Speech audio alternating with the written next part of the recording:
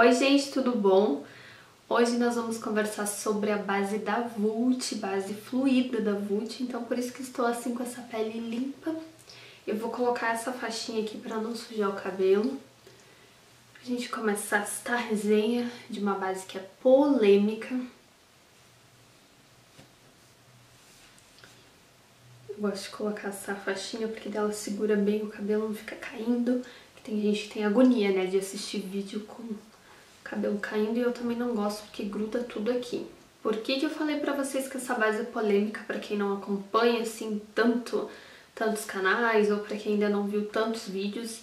É uma base polêmica porque tem gente que ama, tem gente que odeia, tem peles que ela dura, tem peles que ela não dura nada.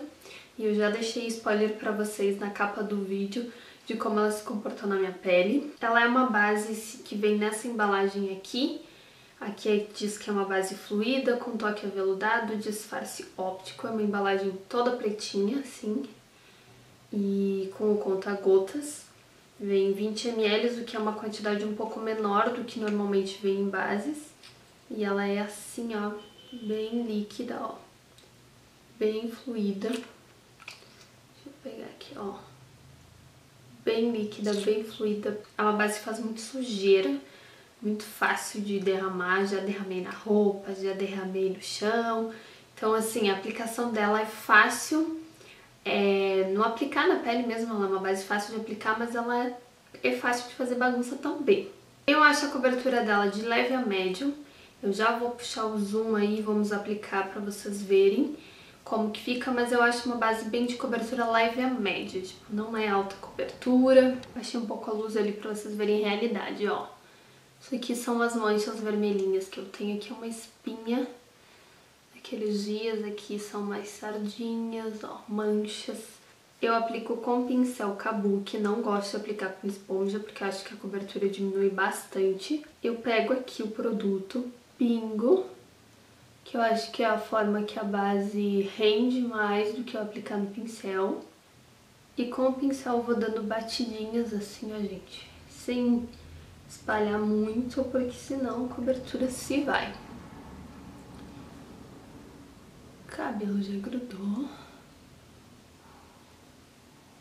Ó, vocês viram aqui onde tinha as manchinhas, como já cobriu um pouco. Ó, a espinha que é mais vermelhinho, cobre também. Passar aqui na, na olheira, nariz. Ó, vocês conseguem ver que o que é, assim, manchinha mais leve, é, vermelhidão, essas coisas ela cobre. A espinha aqui já deu uma amenizada, se fosse pra sair assim, ó, olheira. Vamos dar uma distanciada pra vocês verem de longe, ó. Olheira aqui, tipo, dá uma camuflada, mas também não é nada demais. Precisa um pouco de corretivo se a sua olheira for mais roxa, se for mais azulada do que a minha, vai precisar de mais corretivo. Eu já saí assim, só com uma, com uma camadinha assim, tranquila, bem dia a dia. Mas, ó, é uma cobertura, como eu disse, leve, a média. Eu apliquei desse outro lado, enquanto vai secando aqui, pra depois a gente fazer o teste de transferência, eu vou falando de outras coisas pra vocês. Pra quem tem pele oleosa ou mora num lugar muito úmido e tem pele oleosa, né, nesses, com esses dois fatores, eu acho que essa base não vai durar tanto assim. Na minha pele, que a minha pele no verão ou nos dias assim mais quente, ela tende a ser mais oleosa.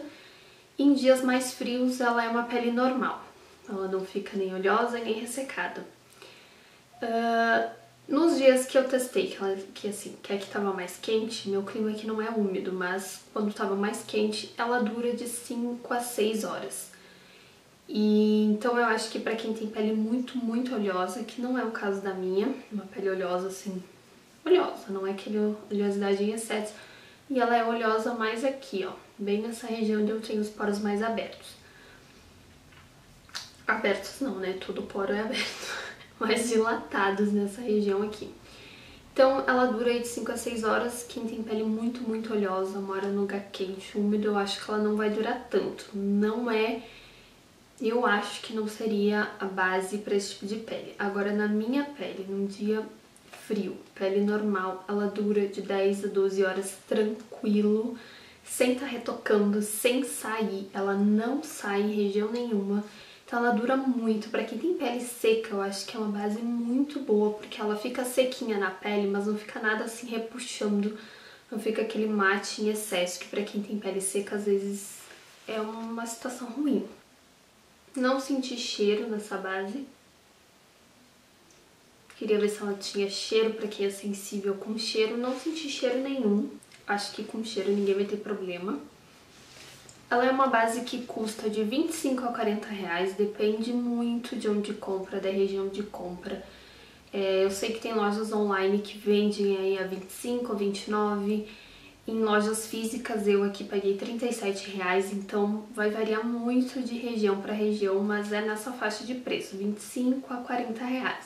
É uma base que eu acho muito boa para pele madura, para quem já tem assim mais linhas de expressão, que tem mais linhas nessa região aqui, nessa região aqui de bigode chinês, na testa, porque ela quase não acumula por ela ter essa textura fluida, essa textura assim bem leve, então eu acho muito bom para esse tipo de pele. E a minha cor dessa base é a cor 4. Deixa eu ver mesmo se é a cor 4. É, é a cor 4, ela tem sete cores, ela é numerada assim de 1, 2, 3, 4. É, não sei se vai dar muito certo pra pele negra, eu acho que não tem tom pra pele negra. Pode ser que pra pele bem clarinha até que tenha, porque o meu tom é o 4 e normalmente eu uso o tom de base médio.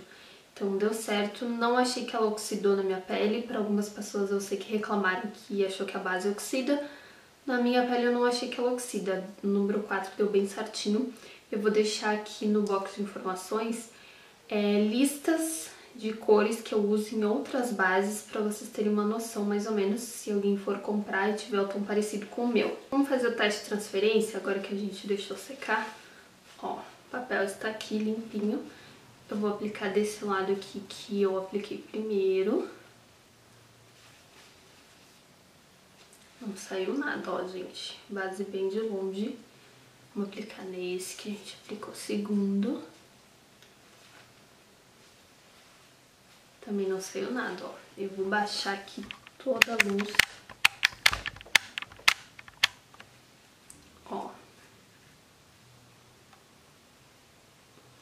Não vejo quase nada, tipo, é mínimo. Eu achei que transferência é quase nada. Ela fica bem sequinha assim na pele, confortável. Nesse momento que a minha pele tá normal, eu não aplicaria pó, mas porque ela tá sequinha, sabe? Ela quase não transfere. Então acho que pra quem tem pele normal, pele seca, não acho que precise pó. No geral, gente, gostei muito da base, da textura, da duração. É uma base que quando acabar, com toda a certeza eu vou comprar de novo. É um tipo de base que eu gostei muito. Eu já testei a do Boticário também, eu ganhei uma amostra que já deu pra mim usar umas 4 ou 5 vezes, que é nesse formato assim de base fluida, conta-gotas. Eu gostei muito desse, dessas texturas de base, elas são mais chatas porque assim são que estar tá cuidando porque suja muito, mas eu gostei muito do, do acabamento que dá na pele. Ela dá uma cobertura, mas fica levinha. E com certeza eu vou comprar de novo essa aqui acabando, só eu acho que é uma base que não rende muito. Essa base aqui, eu acho que eu tô usando ela o quê? Um mês e meio, dois? E eu acho que ela já tá na metade, assim, então ela não rende muito, sabe? Pelo valor dela. Mas eu gostei muito da textura, de tudo da base. O teste da água, gente, eu não vou fazer pra vocês. Eu já fiz em algumas bases, mas é, não é um teste que eu trago com frequência e deixando aqui pra vocês daqui pra frente eu não vou trazer mais o teste d'água. É um teste que eu acho meio sensacionalista demais, eu não acho que ele é, simboliza ou você consegue ver realmente o efeito de resistência de água para quem sua. Que é um teste que o pessoal faz para tentar ajudar quem sua muito no rosto e tal, quem sua aqui assim no bigode. Então eu não acho que é um teste que vai ajudar ou não, porque eu tô jogando água aqui, né? Em cima do produto. E quando você sua, o produto tá vindo, o suor tá vindo de dentro para fora e a água eu tô jogando, né? Aqui em cima. Então eu não acho que é um teste relevante. Posso falar pra vocês nessa questão se a base dura ou não com suor, porque eu não suo no rosto. Eu posso estar num calor de 40 graus que eu não suo no rosto. Então é uma coisa que eu não consigo ajudar vocês. Então esse é o vídeo dessa base aqui que eu estou amando, gostando muito, muito mesmo. Qualquer dúvida que vocês tenham em relação a essa base, deixe aqui nos comentários.